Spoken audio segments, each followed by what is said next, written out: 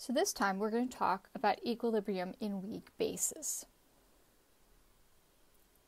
So bases sometimes feel a little scary, but they're not. They're just like acids. And so we're going to use the same ice table processes in order to calculate equilibrium concentrations. One thing that is different is the way that we set up the reactions. So instead of an acid plus water goes to H3O plus and a conjugate base, instead we're going to have a base plus water goes to hydroxide and the conjugate acid. So we'll practice writing those reactions.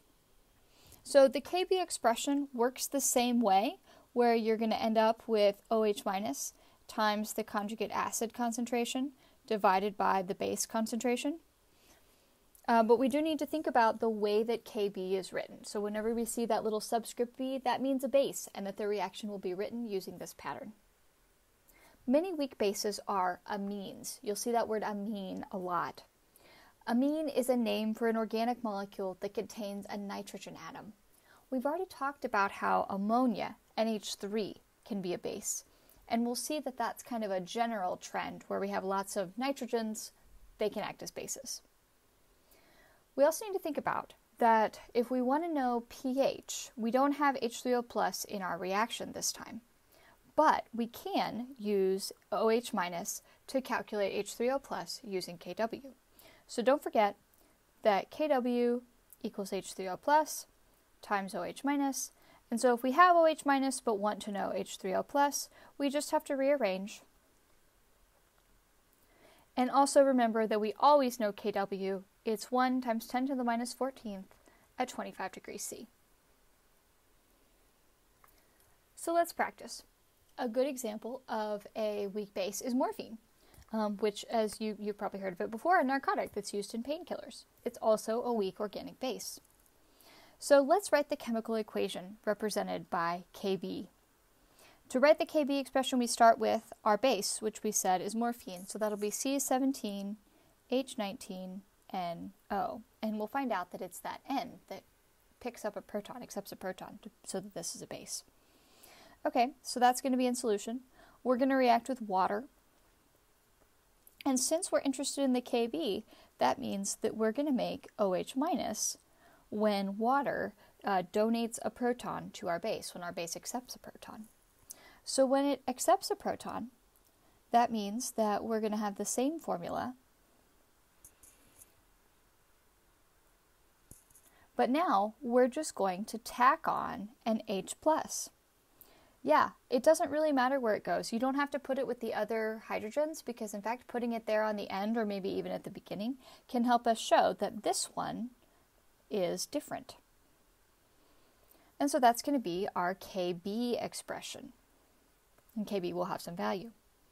We can also write the chemical equation represented by Ka.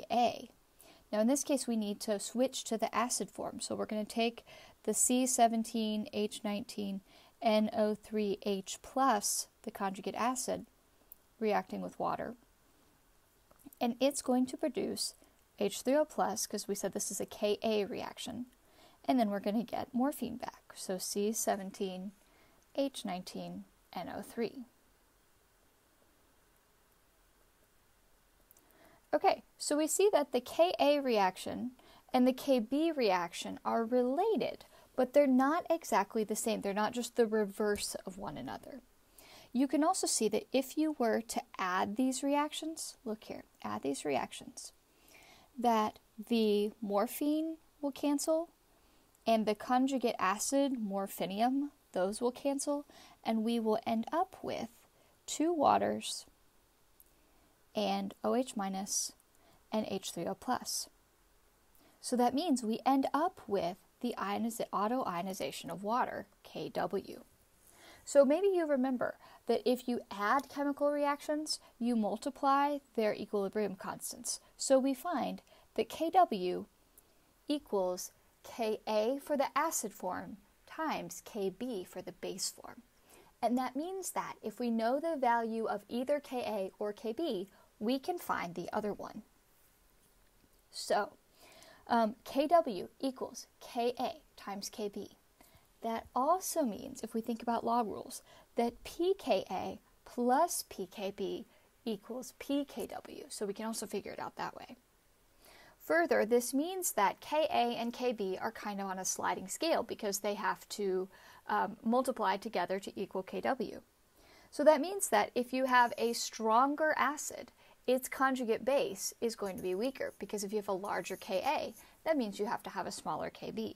And vice versa. If you have a weaker acid, its conjugate base is going to be a stronger base because the Ka times Kb has to equal uh, 10 to the negative 14. So, which of these bases is the strongest? Since we have Kb values here, we're going to look for the one that is the biggest, so the most dissociation. And in that case, it's piperidine, because 10 to the minus 3 is the, the smallest negative number, so that's the biggest number overall. Okay, let's do an example calculation. If household ammonia, the same stuff you might have at home, is a solution of approximately 2.94 molar NH3, which has a Kb value of 1.8 times 10 to the minus 5, what is the pH of ammonia solution? So, we're trying to find pH, and we know that pH equals negative log of the H3O plus concentration. Now, in this case, we're unlikely to find the H3O plus concentration directly because our reaction is going to involve ammonia. So let's write out our ammonia Kb reaction. So that's going to be ammonia plus water produces OH minus plus NH4 plus. So look, we've just added an H plus to ammonia. Okay, so what we're going to do is we're going to find OH minus at equilibrium, and then we know we're going to need to use Kw to get H3O+. plus. So let's see how that works out. So here's our reaction. Since we know the value of Kb, we'll use that reaction. Our initial concentration of ammonia is 2.94 molar. And water doesn't matter because it's a pure liquid. Initial concentration of hydroxide is close enough to zero, and initial concentration of NH4 plus is zero as well. We know our reaction has to proceed toward the products because we don't have any right now. So we'll go negative X on the reactant side and positive x on the product side. So our equilibrium amount will be 2.94 minus x, and then this will be x and x. So we'll put these back into our Kb expression. So Kb will equal x squared divided by 2.94 minus x. And the value of Kb is 1.8 times 10 to the minus 5. We got that from our problem. Okay, so once again, we can make our small x approximation where we can assume that 2.94 minus x equals 2.94. And that's going to simplify our math. So x squared divided by 2.94 equals 1.8 times 10 to the minus 5. So if you multiply both sides by 2.94 and take the square root, you get that x equals 7.27 times 10 to the minus 3. So now we need to check our assumption. If you take 2.94 and you subtract 0.00727, you get 2.93927.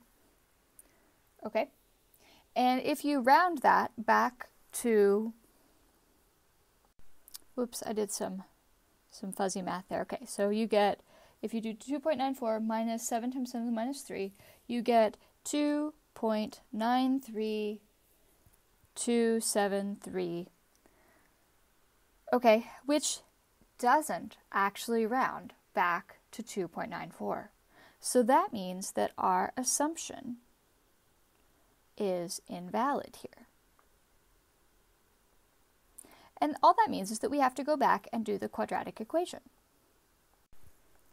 So if you do the quadratic equation, I get that you have x squared plus 1.8 times 10 to the minus fifth x minus 5.29 times 10 to the minus 5 equals 0. And so if you solve for x, you'll get that x equals 7.26 times 10 to the minus 3 and negative 7.28 times 10 to the minus 3. So the positive one here is the chemically reasonable one. And you'll see that this is really, really close to the 7.27 times 10 to the minus 3. These, this, this assumption was really, really close. But this way we can see what happens if it doesn't really work out. Okay, so that means that the OH minus concentration is 7.26 times 10 to the minus 3. If we want to calculate the pH, we need to know, we said we need to know the negative log of the H3O plus concentration, which means that we need to find the H3O plus concentration, like we said in the beginning, from Kw over OH minus.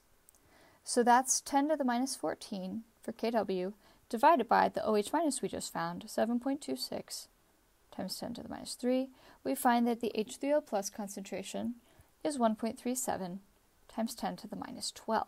That's not a lot of H3O plus. This is a basic solution. So if we take the negative log of, that H3O plus, we find that the pH equals 11.86, which is consistent with this being a fairly concentrated base solution.